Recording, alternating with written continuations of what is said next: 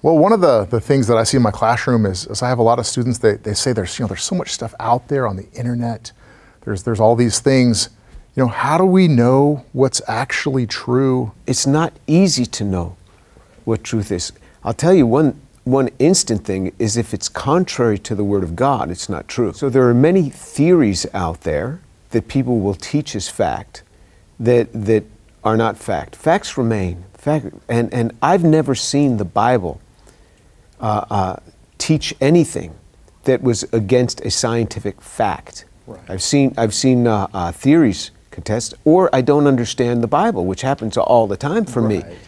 All the, the things that come at us on the internet, uh, uh, even it's not even just the internet, it's even in the, in the scientific literature. Yeah, it's, it's hard to know what the truth is.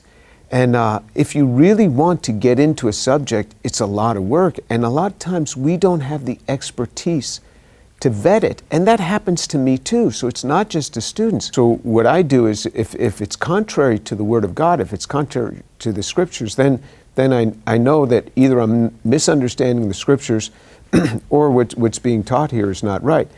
But I don't have a simple answer for you on that because I even see it in the chemical literature. And so what you see is you see data. you can look at data and, and you can critique the data if you're, if you're proficient in the field. One of the things that I've, I've seen you know, in the media and things like that, well, do you believe the science? No, I don't believe any science, but I can assess the data. And I think because uh, we have this glut of information that we've become lazy intellectually it, to some level, at least many of us have in our society, and we just believe it because it's out there. And you know, what are your views on how we can more effectively, I don't know, be more skeptical about what's what's being presented as true? Well, if the media says believe the science, I immediately am quite skeptical. yes. Really. Really, because Right. the person saying that doesn't understand the science. It's like I told you, the real science is very difficult to understand. If you want to look at medical sciences, that's especially difficult. Uh, uh, epidemiology, looking at things and trends o- over a human being's lifetime, it's very hard to know long term effects, for example. Right. Because people are living 70, 80, 90 years, so it's very hard to make an assessment. Very hard to know what caused that sickness. Is that from something that, that, that, that happened you know, 20 years ago? Very hard to know. We just don't have the analytical tools to make that judgment. That's one of the first things I, I do when I evaluate an article is, you know, I, I try to figure out where did most of the funding come from, especially if, if there's monetary potential. Uh, have you seen that? That Oh, absolutely, all the time, all the time. You know, I've been critiquing Origin of Life for quite some time. Right. And uh, uh, it's not just follow the money. Yeah, these people are getting certain grants from certain foundations that, uh, but then also, it's careers, it's reputations. I mean, for 40 right, years they've been right. teaching something, and now all of a sudden somebody comes and says, "No, I'm not sure you interpreted that data correctly. That data could just as well be saying the opposite of what you're saying. That that uh, life definitely didn't happen that way." Well, you brought up the, the origin of life stuff, and like you, I'm a chemist, I'm an analytical chemist. But for me, uh, as a Christian, like you, I, I looked at you know, this, this, the Bible says that God created life. And so when I heard the idea of, you know, life happened accidentally, um, I went back to math class and I thought, you know, let's just look at this from a really basic point of view. The statistics don't add up. And you've obviously done much, much more on this than myself, but you know, matter does not self-organize without substantial energy input. when God, when it, when it says God, in six days God created the heavens and the earth, the sea, and all that is in them, He doesn't give us a whole lot of details on how He did that. He spoke life into existence, but how exactly did the molecules come together? Did, did, did atoms form molecules, molecules form higher some? He doesn't give us the details. So scientists want to go and investigate things, and you can be investigating the origin of life and still be a, an ardent believer in the scriptures Right. because you're looking for details that God never revealed to us in the scriptures, but He put science before us to begin to, to understand okay, that's how you did it. And it wasn't until the 1950s when they discovered that all of this is written in the DNA, in the genome, in the structure of the DNA, and it codes for the proteins which are nature's nanomachines which construct our bodies. If you do not believe in the physical resurrection of Jesus Christ, send me an email, tour at drjamestour.org, and we will get together and I will share with you about why I embrace the resurrection of Jesus. Prior to the 1950s, we didn't know how God did this. So a person may say, oh, well, you know, it's just a miracle. Well, it, and it, it is miraculous that this thing is there, but there's an explanation for that happening. And uh, uh, so he gives us, through the sciences, he gives us understanding. And this is a good thing because now that we understand DNA and we understand its structure, and when I look at the data on origin of life, it screams out to me the way you are proposing is not the way it happened. But more fundamentally is this. We can take a cell and you can deconstruct a cell. You can take, get the lipids out, you can get the proteins out, you, you can get the, the DNA, the RNA, you can get the small molecules. You can put those in discrete bottles. Give them to any group of scientists anywhere in the world and say, I give you all these discrete bottles, this is just a deconstructed cell, put the cell back together for me, will you?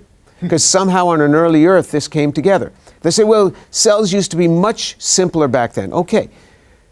Biophysicists have computed the simplest of cells what kind of cell could you have? How simple could it be and still have life? You have about a dozen different subsystems that need to be in place. Right. And then you have all the, the, the non covalent interactions that are needed, which is an enormous amount of things. Non covalently, how to have things aligned.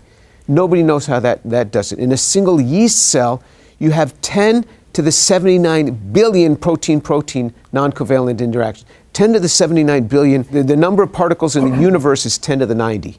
This is 10 to the 79 billion. So, so that's not going to happen. So nobody can reconstruct a cell. So, how?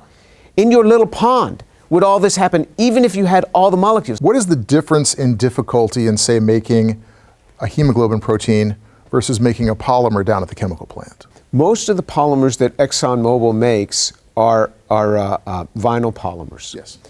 They make some condensation polymers, but most of them are vinyl polymers. All of the, the ones in nature are, are condensation polymers. Mm-hmm. And so the delta G, the free energy, is positive, right. which means that the reaction is unfavored. It's, it's favored not to go. It does not want to go in the polymerization direction. So actually, it favors the starting material. So if you just leave these things, you get mostly starting material and very little product the product that you get is very short. You don't get the polymers. The other thing about nature's polymers is that they're ordered, they have high order. So there's this highly ordered system of it's not just the same A, A, A, A over and over again or A, B, A, B. Right. It's a discrete pattern that codes for certain things. So in DNA, it codes for what it's going to translate to the RNA. For the RNA, it codes for what it's going to translate to the protein. In the protein, it's for what job it can specifically do, what chemical reaction. So there is information embedded in every one of these polymers. Right. You don't have that same kind of information in ExxonMobil's polymers. You might have what's called Shannon information if you had a random polymer, which is, which is what kind of packets of information can you pull out of randomness. But all of life is what's called specified information. And these are not terms that were coined by, by people at the Discovery Institute. These terms were actually coined by people working in information theory. You have this specified information. Nobody knows where the code came from. So not only can you not make the polymers because the free energy is against you, you don't know how you got the code to arrange these. So it has to have a particular code, a particular information. So all of the polymers have some embedded code in them. Nobody knows how to polymerize these things. So the other thing is the polymers don't last.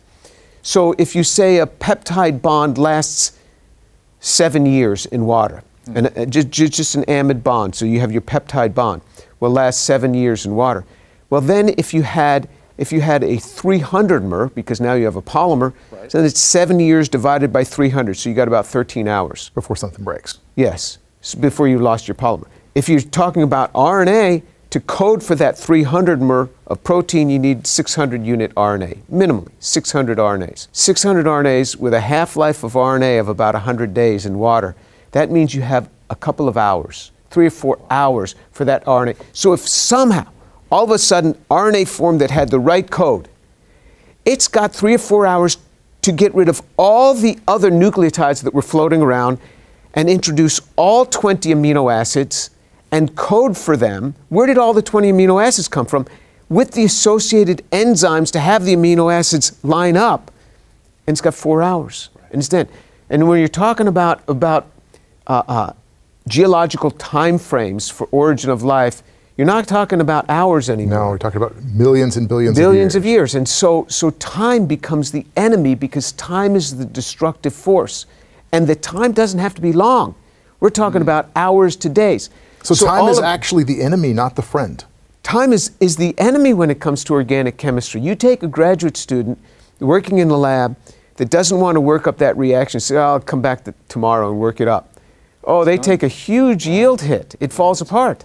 So when that reaction is optimized, you've got to stop that reaction. So time is actually the enemy. The Bible says that the creation cries out to the glory of God. And that's, I think, about as much as we understand on, on how it could have happened. Yeah, yeah. One day we might, you know, as scientists, we can never say we will never know. We can't, we can't say that.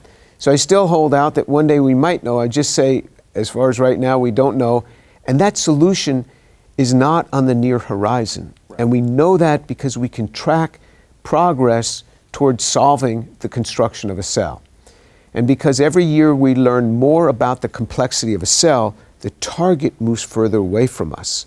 The cell hasn't changed, but we learn more about its complexity. So we might have moved up a little bit, but this has moved further away from us. The more we learn, the more complicated it gets. the more complicated it gets. That's, that's the way you can track progress toward a target. You look at how much closer you are to the target. And you do that in all sorts of technical fields. How far am I away from this? How much closer am I? And every year we're getting further away.